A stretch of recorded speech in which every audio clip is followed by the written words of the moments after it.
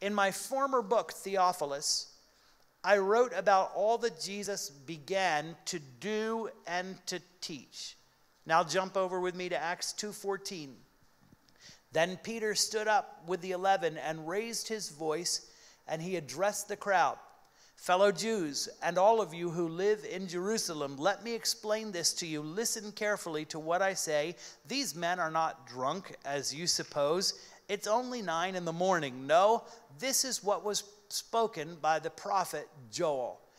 Peter goes on to quote some verses from Joel. Look with me in uh, verse 22 of Acts 2. Men of Israel, listen to this. Jesus of Nazareth was a man accredited by God to you with miracles, wonders, and signs, which God did among you through him, as you yourselves know. This man was handed over to you by God's set purpose and foreknowledge, and you, with the help of lawless men, put him to death by nailing him to the cross. But God raised him from the dead, freeing him from the agony of death because it was impossible for death to keep its hold on him. Look at verse 32. God has raised this Jesus to life, and we are all witnesses of the fact, exalted to the right hand of God. He has received from the Father the promised Holy Spirit and has poured out what you now see and hear. Verse 36 Therefore, let all of Israel be assured of this God has made this Jesus, whom you crucified, both Lord and Christ. When the people heard this, they were cut to the heart and they said to Peter, What shall we do? Peter replied, Repent and be baptized, every one of you, in the name of Jesus for the forgiveness of your sins, and receive the gift of the Holy Spirit. I like verse 40. It's one of my favorite verses. Peter was a preacher after my own heart. It turns out it says, with many other words, he pleaded and warned them to save themselves. And then Acts 2:41 says that 3,000 people became believers that day. Come on, let's pray and ask the Holy Spirit to help us. Come, Holy Spirit. Come any way you want to. Come, Holy Spirit. Do whatever you want to do. Come, Holy Spirit. Say whatever you want to say. Confront whatever you want to confront. Come, Holy Spirit, change whatever you want to change. Father, breathe life among us, we ask in Jesus' name. Amen. In this day and age, what do you suppose is the best way to share the gospel? What's the best way to share your Christian faith with the people in your life? What's the best way to tell others out there about Jesus to make a big impact in our culture with the gospel? Is the best way to be over the top? To be bold, direct, to be confrontational, controversial. Over the top has certainly worked for Lady Gaga. And it worked for Madonna before her and Elton John before her. Over the top is the strategy of social revolutionists. 10% of the population can overtake any society if they're over the top. Thank you, Karl Marx. So, is the best way for us to share the gospel to turn up the heat and turn up the volume? Or is it better to be understated? Is it better to be a good example and hope that people will draw the right conclusions about salvation on their own? You know, lately in the evangelical world, a lot of evangelism strategies have gravitated towards quiet demonstrations of Christian love, feeding the hungry, clothing the naked, giving water to the thirsty, doctoring the sick, serving in love without speaking. It's like St. Francis of Assisi said preach the gospel at all times, and if absolutely necessary, use words. To be sure, doing all of these good deeds is the natural overflow of God's love having been poured into our heart by the Holy Spirit. Jesus said so. But I wonder if quiet demonstrations of Christian love are enough as a strategy for evangelism. A lot of American evangels, evangelicals have been told that the way to share the gospel is to just quietly embrace everybody and to avoid offending people, to avoid pushing them away or alienating them by speaking truth directly into their lives. God loves you just the way you are. You know, it's true. God does love you just the way you are, but He also loves you way too much to let you stay the way that you are. In fact, Jesus died on the cross so that you don't have to stay the way that you are. He gave his life so that you could trade in your empty way of life for his more abundant life. It's a very good thing that Jesus was never on Facebook. Imagine all the ugly comments that Jesus would have gotten when he confronted the woman at the well and he told her, Go call your husband knowing full well that she was living with a man and that she had had five failed marriages before that. That wasn't very loving, Jesus, to call her out like that. You know, actually, Jesus spoke directly into people's lives all the time. He told the rich young ruler, You lack one thing. He told Nicodemus, You're Israel's teacher, yet you're spiritually ignorant. You need to be born again, Nicodemus after he lifted up the woman caught in adultery, he told her, Go and sin no more. Jesus lifted her up, but he didn't just lift her up, he cleaned her up. Beloved, secular society has convinced too many Christians that to make clear, direct statements of biblical truth is judgmental and unloving. Don't you buy it? Jesus said that to speak God's eternal truth is to love. So, what's the best way then? Is, it better to be over the top? Is it better to be understated? Maybe a happy medium, a little bit of both, sometimes one, sometimes the other.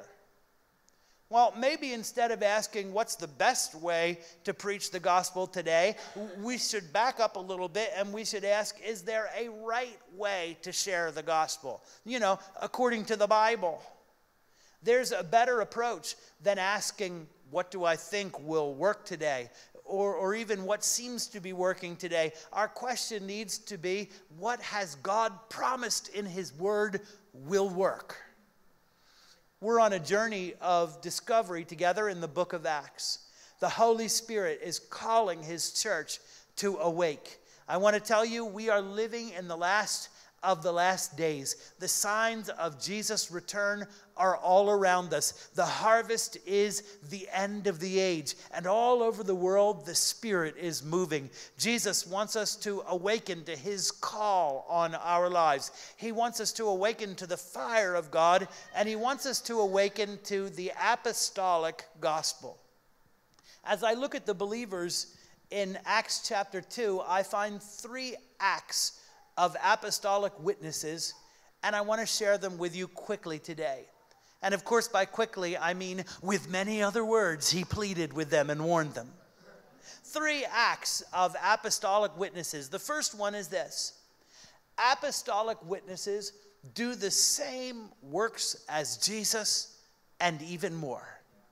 Apostolic witnesses do the same works as Jesus and even more. Beloved, the opening line of the book of Acts gives us the best definition ever of the gospel. In my former book, The Gospel of Luke, I wrote about all that Jesus began doing and teaching. Beloved, the gospel is doing and teaching. The gospel is not works without words. Neither is the gospel words without works. The gospel is both works and words. And it's important that we're absolutely clear the works that we're talking about specifically is the supernatural ministry of Jesus. Beloved, I want you to know there's a hole in our gospel. And it's not a failure to engage in ministries of Christian compassion. The hole in our gospel is a failure to engage in the supernatural works of Jesus namely prophesying, laying hands on the sick and seeing them recover, and delivering those who are oppressed by demons. The evangelistic strategy of Jesus and the early church after him was not social action, but to engage in supernatural ministry, followed by an explanation in teaching and preaching. Jesus sent out the 12 and he said, Go into the towns and the villages, heal the sick, raise the dead, cleanse the lepers, drive out demons, and then preach this message The kingdom of heaven has come near to you. You know, I continue receiving testimonies about the outpouring of the Holy Spirit that began on Mother's Day. Had a membership class on Thursday evening. Our third one this year had 30 new members in our membership class on Thursday night. We had a, a couple that shared a, a testimony that I, I didn't know. The wife had been coming here to harvest time for a while and couldn't get her husband to agree to come. And finally you know she kind of used mother's day to turn the screw a little bit and, and, he came on mother's day on mother's day he came as a present to her he was in the first service when the holy spirit fell down on me and then started falling down on all the other people and when he saw it he said to his wife i want that I didn't know it, but he received Jesus as his Savior that morning, and he's been with us ever since. See, that's the way it works. Supernatural signs and wonders open people's hearts to receive Jesus. Beloved, listen to me. I want you to look at me. May God give you grace. May God make a deposit of His Holy Spirit in your heart today through the Word of God. Listen, God has called every one of us every one of us to share the gospel by doing the supernatural works of Jesus. You don't believe that, but the Holy Spirit's going to convince you. Prophecy is not just for pastors. Deliverance ministry is not just for deacons. Healing is not just for a handful of chosen few. Jesus said, I tell you the truth. Whoever believes in me. I looked it up in Greek. You know what it means? Whoever. Whoever believes in me, the same works that I have done, he shall do, and even greater than these. People have struggled with those words of Jesus in John 14. Greater works than these. How could that be? Jesus walked on water. Jesus calmed storms, he raised the dead. What could possibly be greater than that? But you know, the very first supernatural work in the book of Acts was 120 believers from Galilee speaking in 15 human languages that they had never learned. Jesus never did that. Jesus never healed anybody with his shadow. Jesus never supernaturally escaped from prison. Jesus never ran alongside a chariot. Jesus never survived a poisonous snake bite. But the believers in Acts did. And his promise of greater works is still good for us today. The title, The Acts of the Apostles, was given to this book by the church fathers in about the third century, and it's not quite a perfect fit. One reason is that the apostles fade off the scene very quickly in the book of Acts. Only Peter and John are mentioned after chapter 1. And then only Peter after chapter 4. And then none of them are mentioned after chapter 8 or 12, excuse me. But the, the larger part of Acts is the story of what God did through ordinary believers that were full of the Holy Spirit and on fire. Stephen and Philip were ordinary believers. When persecution intensified, ordinary believers spread the gospel everywhere while the apostles stayed in Jerusalem. An ordinary believer laid his hands on the eyes of Saul, and something like scales fell off of his eyes. James, the half brother of Jesus, an ordinary believer, not one of the original 12, became the pastor of the church at Jerusalem, and he led the Jerusalem council with a word of wisdom in Acts chapter 15. Barnabas, Silas, Apollos, Priscilla, and Aquila, they were all just ordinary believers on fire. Do you know the ultimate example in Acts of an ordinary believer on fire is Paul? In Acts 1, Luke very intentionally records the account of the choosing of Matthias to replace Judas in the circle of the original 12 to make the point to us that Paul was not one of those in that original circle of 12 apostles. In Acts, Paul is not one of the 12, he is an ordinary believer on fire. Maybe this book should be called The Acts of the Unapostles. Maybe it should be called The Acts of Ordinary Believers on Fire. The message is not that the apostles were unimportant.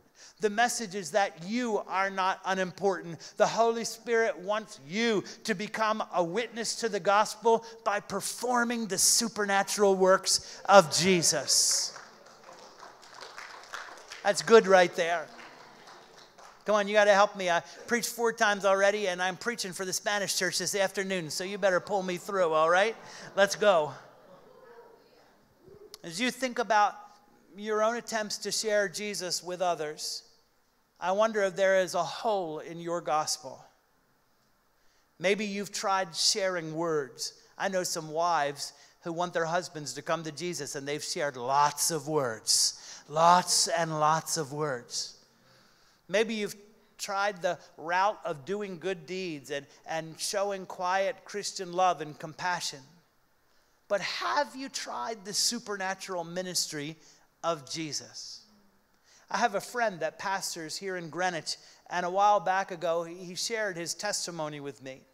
He was a brilliant young man studying at an Ivy League college, and there was a, an older spirit filled believer who had a campus ministry and one day, he and that older spirit filled man were sitting at a table together, and the older gentleman was trying to share Jesus with him.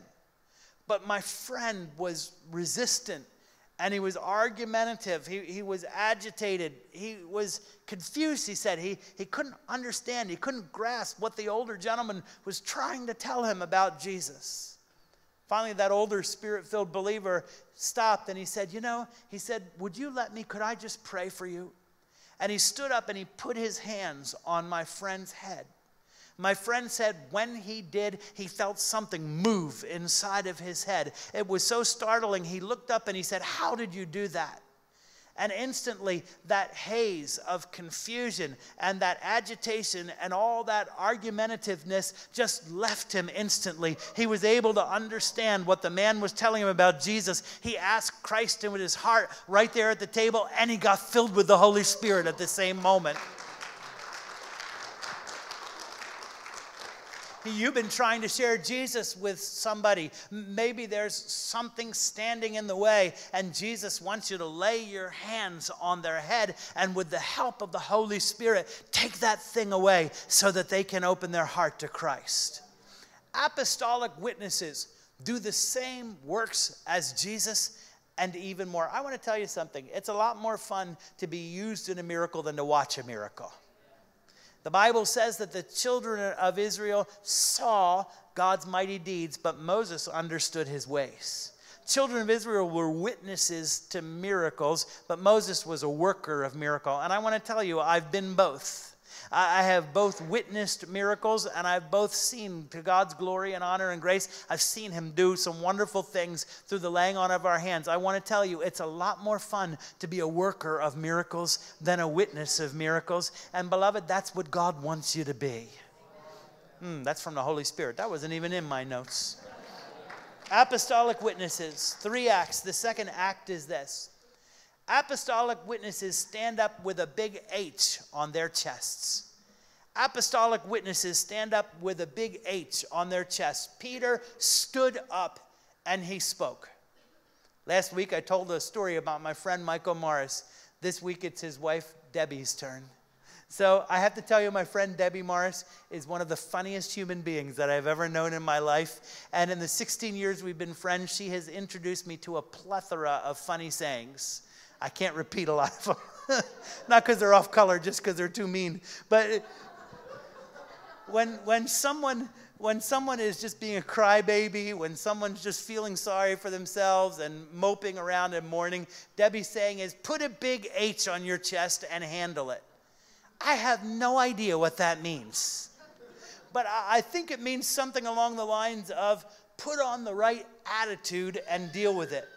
Beloved, I want to tell you, sharing the gospel absolutely requires that we stand up in our culture. I want to tell you, I am so proud of our teenage students doing See You at the Pole this Tuesday. You need to pray for our kids on Tuesday morning.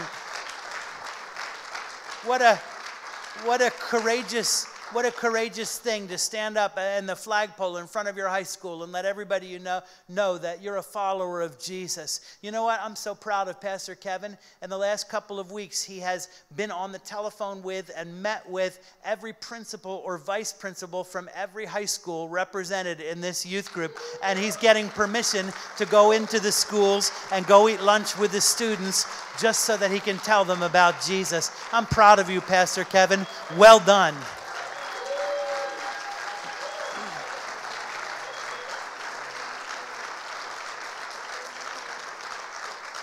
Sharing the gospel absolutely requires that we stand up boldly, but we have to do it in the right attitude.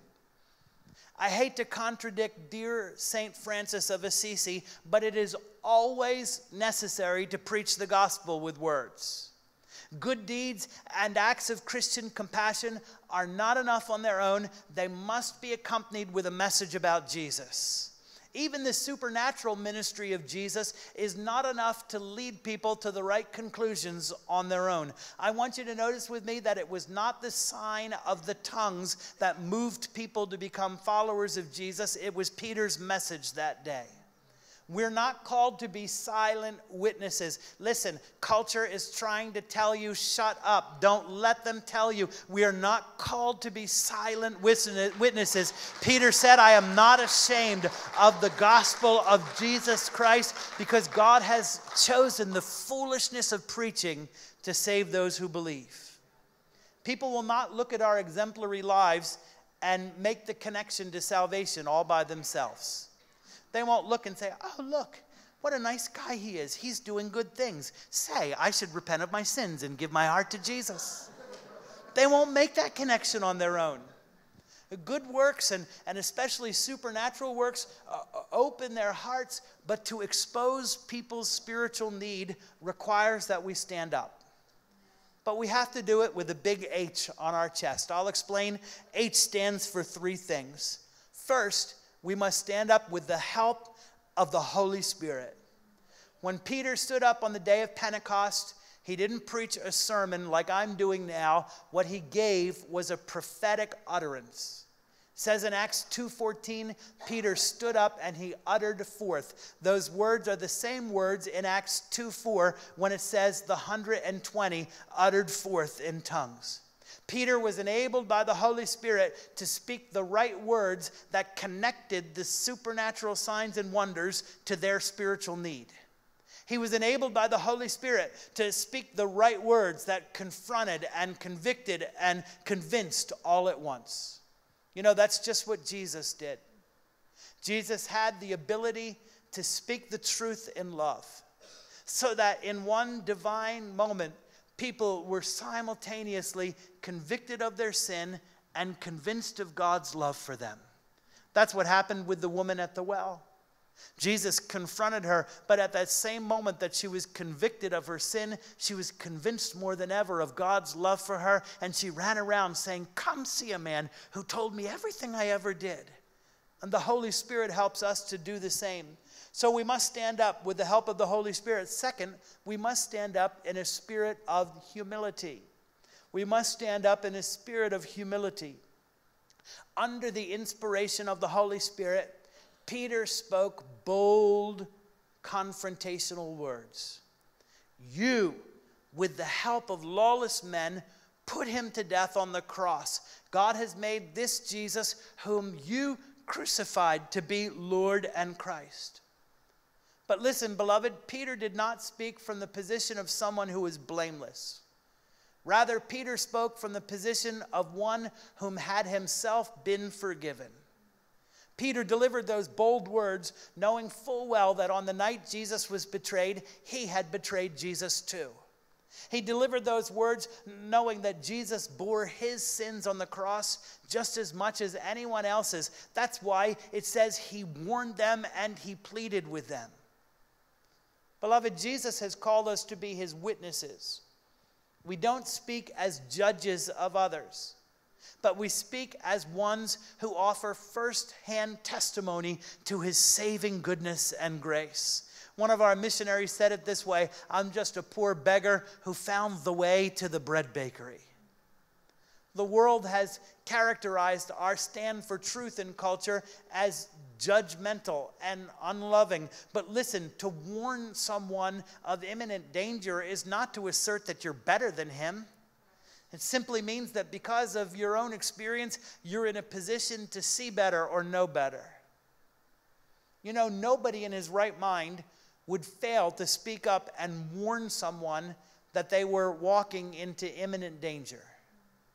And no person in his right mind would resent someone for doing that.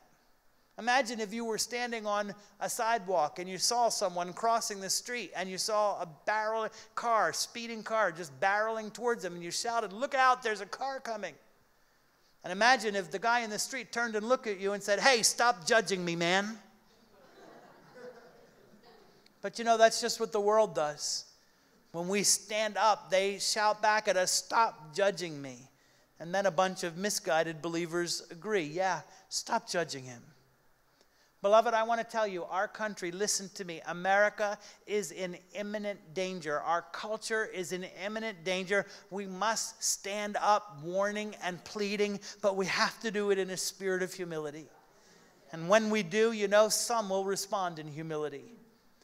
It says in Acts 2, they were cut to the heart. Literally, that word means that they were humbled in their heart. Humility calls forth humility in some. Stand up with three H's the help of the Holy Spirit, humility. Third, we must handle criticism with sincere humor and honesty. We must handle criticism with sincere humor and honesty. When Peter stood up, he addressed both sincere questions and also sarcastic criticisms that had been thrown out there by the crowd. Some were amazed and they asked in sincerity, what does this mean? And others mocked, saying, Ah, those guys are drunk as skunks. It might get a little lost in translation, but there's a light note of humor in Peter's response to his critics. He says, Hey guys, come on. We're not drunk. It's only nine o'clock in the morning after all. His humor was sincere. It wasn't sarcastic or sardonic. It, didn't return an insult for an insult. It neutralized the sting of their criticism. I take my kids to soccer practice in the afternoons, and this week Ben's team was working on stopping the ball and taking control of it. And that's exactly what the Holy Spirit helped Peter to do. He helped him to stop the ball and take control of it with a light note of humor, and he can help us to do the same.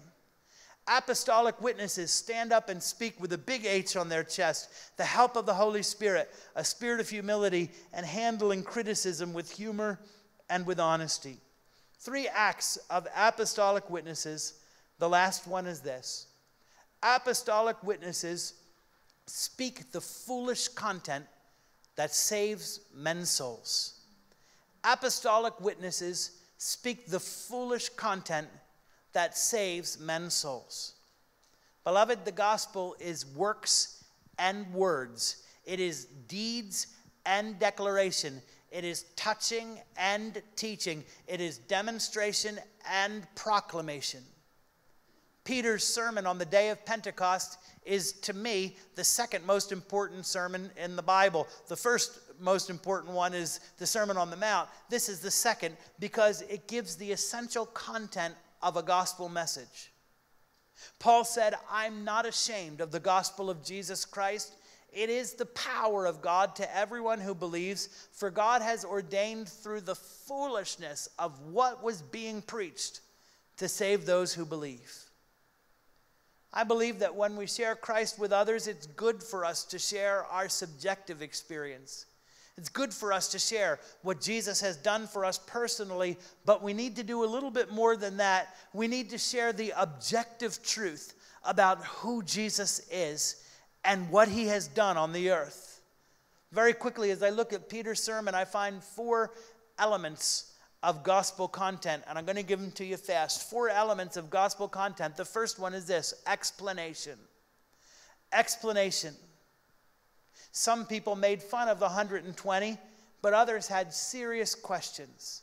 What does this mean? And Peter started out by offering a reasonable biblical explanation to their questions. This is that which was prophesied by the prophet Joel that this outpouring of the Holy Spirit is the signal, the beginning of the last days. Beloved, can I tell you that people have all kinds of sincere questions? What does this mean? And what should I do? Can I tell you the Holy Spirit can give you the ability to answer their questions? The Holy Spirit, as you fill your heart, as you fill your mind, yourself with the Word of God, the Holy Spirit will help you to answer people's questions right there on the spot. Peter did not know what was going to happen on the morning of Pentecost. When he woke up that day, he had no idea what was coming. Peter did not know that he was going to have to offer an explanation from Scripture about the sound of a mighty rushing wind that was so loud it caused a crowd to come together from all over Jerusalem. I imagine that sound was like when you hear people interviewed after a tornado. They always say the same thing. They said when the tornado came, it sounded like a train was coming. He didn't know that he was going to have to stand up and offer an explanation for that phenomenon. He didn't know that he was going to have to stand up and offer an explanation for how 120 Galileans were speaking in over 15 different human languages that they had never learned with no accent. But he was full of the Word of God, and the Holy Spirit helped him in that moment to take the scriptures he knew in Joel 2 and in three different Psalms and to offer people a reasonable biblical explanation for their questions.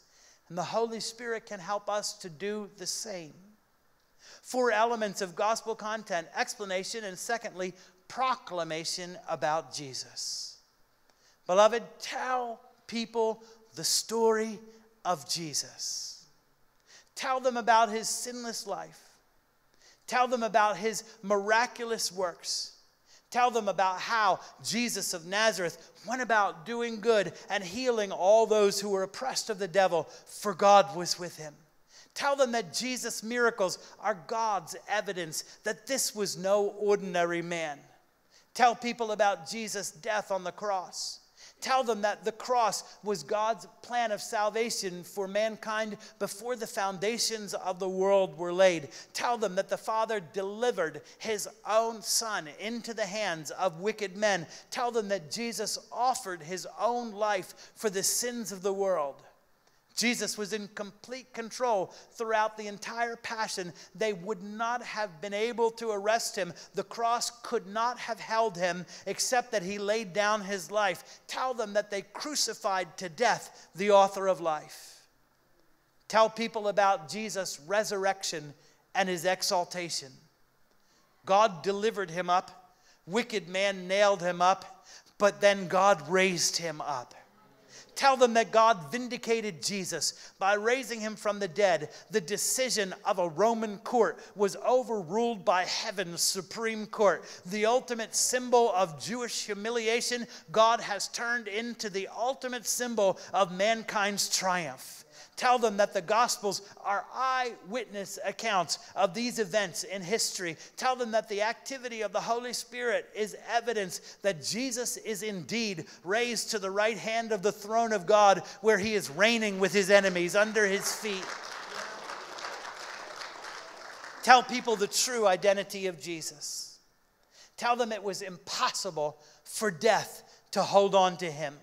He's not just a prophet, He's not just a moral philosopher. He's not just a man, a myth, or a legend. He is Lord and Christ, Israel's Messiah and the one and only Savior of the world.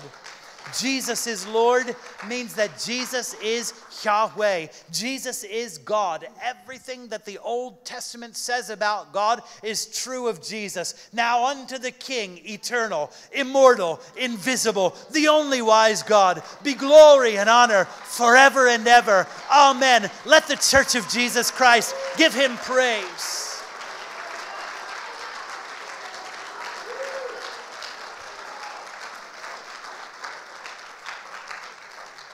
Beloved, acts of Christian compassion and even supernatural works are not enough on their own.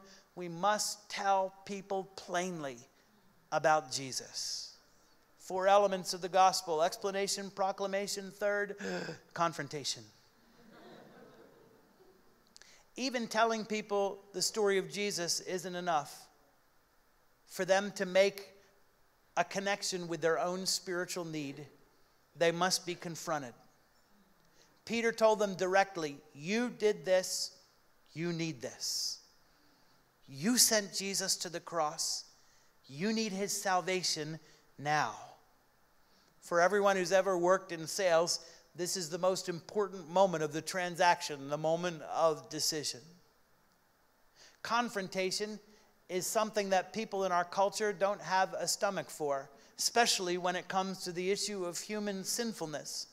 Even a lot of believers think that we should shy away from it. You know, when Denise and I were in seminary, we studied with a dear friend named Ron. Ron was an older student. He had inherited a very large farm from his dad, and he ran that farm for several years before he decided to answer the call to ministry and come to seminary. Ron was a single man, and he had a heart as big as all outdoors. He would do anything for anybody, and he did. But one day, another older student named Pat came to me with a problem. Pat's husband owned a massive ranch in Montana, tens of thousands of acres, and Pat was like a mama to all of us. And she came to me and she said, Glenn, she said, I noticed that Ron has a body odor problem.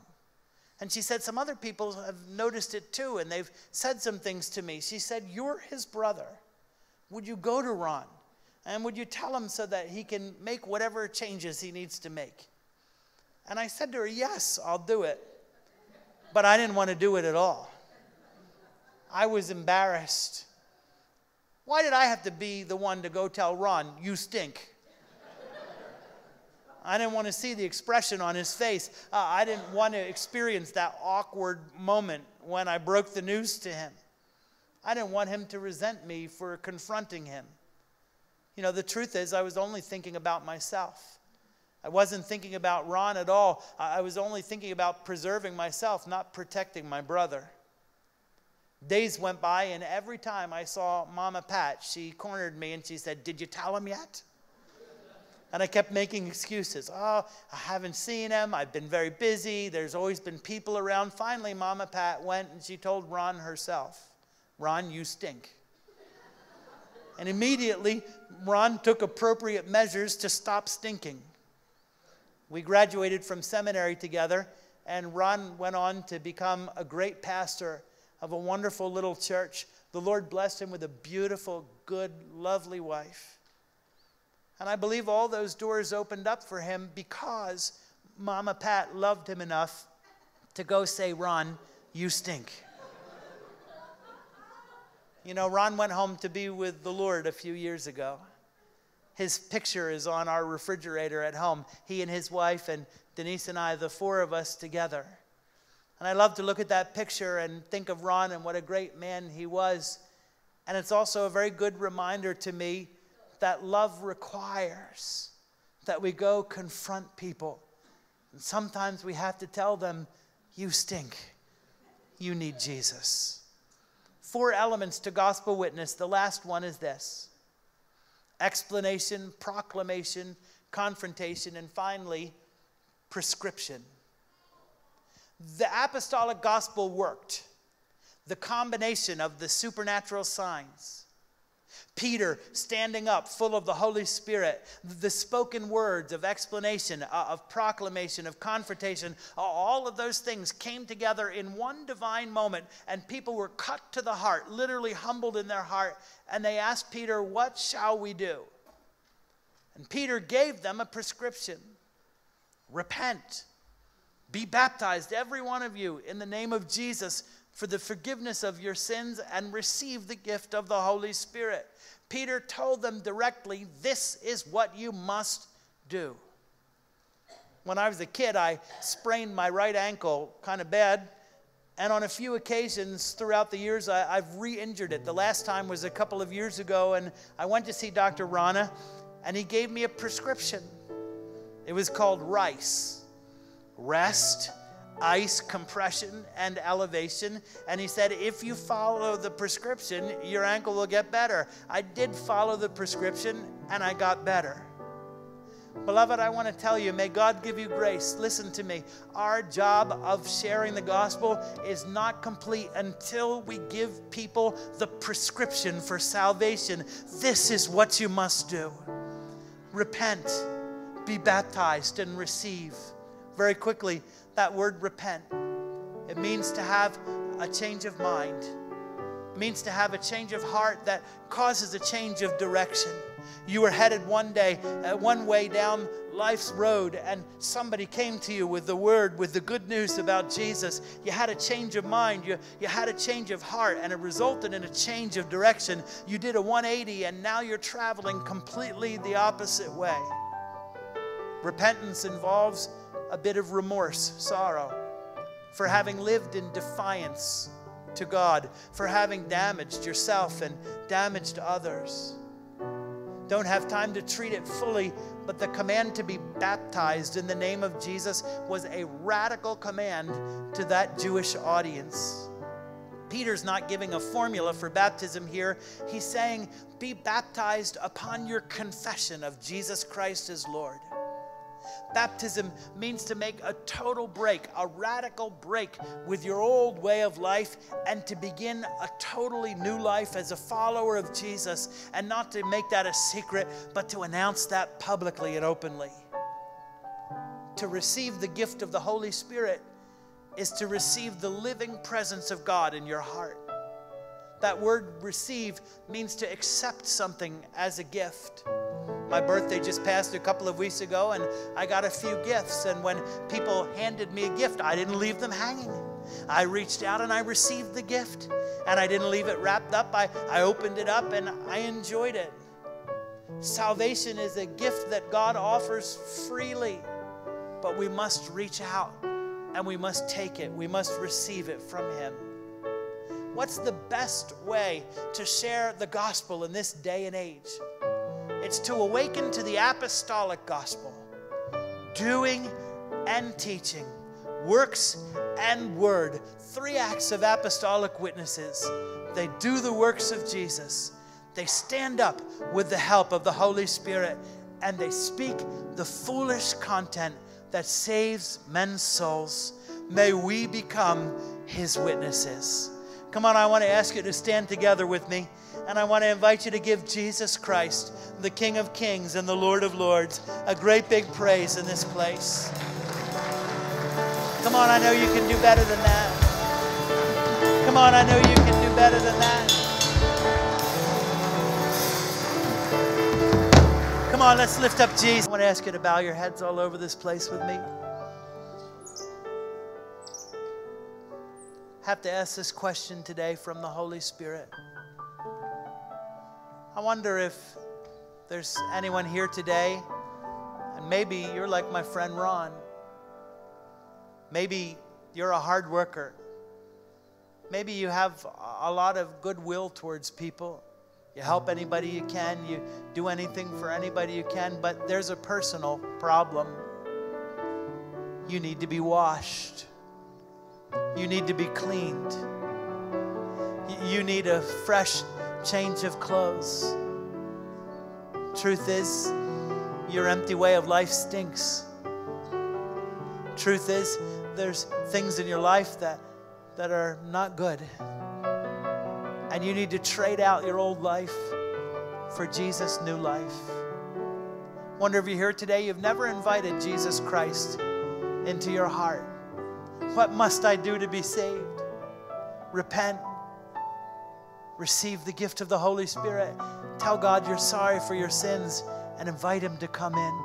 I wonder if there's somebody here you've never prayed that prayer, and today is your day. Listen, today is the day of salvation. Today, if you hear God's voice calling you, don't resist Him, but open your heart completely to Jesus.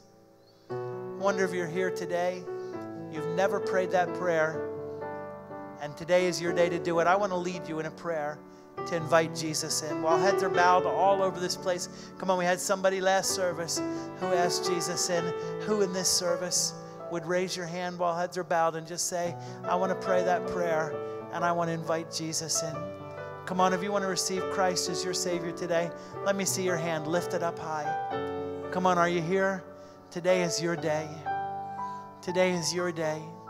Come on, you need to be cleaned. You need a fresh set of clothes, the robe of righteousness that Jesus gives. Come on, is there someone here today? I need to be cleaned. I need to receive Jesus. Is everybody here a believer? Everybody here? Is everybody here? Everybody here you know Jesus is in your heart? Is there someone today I want to receive Jesus? Let me see your let me see your hand high if you want to invite him in. Thank you, Jesus. Thank you, Jesus. Come on, Holy Spirit's tugging on somebody's heart. If your heart's beating fast right now, that means it's you. It means the Lord wants you. Thank you, Lord Jesus. Thank you, Lord Jesus. We praise you, Father. We praise you, Lord, Father. We praise you, Jesus. It's one more thing that I want to do today before we leave this place. When the Holy Spirit fell out on Mother's Day, there was a man in the service who saw it and said, I want that. And beloved, if you want the deposit of the Holy Spirit to do the supernatural signs, the supernatural ministries of Jesus, it's yours today. I believe that the Holy Spirit wants to make an impartation, a deposit so that you can be a witness to the gospel by doing the works of Jesus. I believe that He wants to give you a deposit of the Spirit on your lips to prophesy.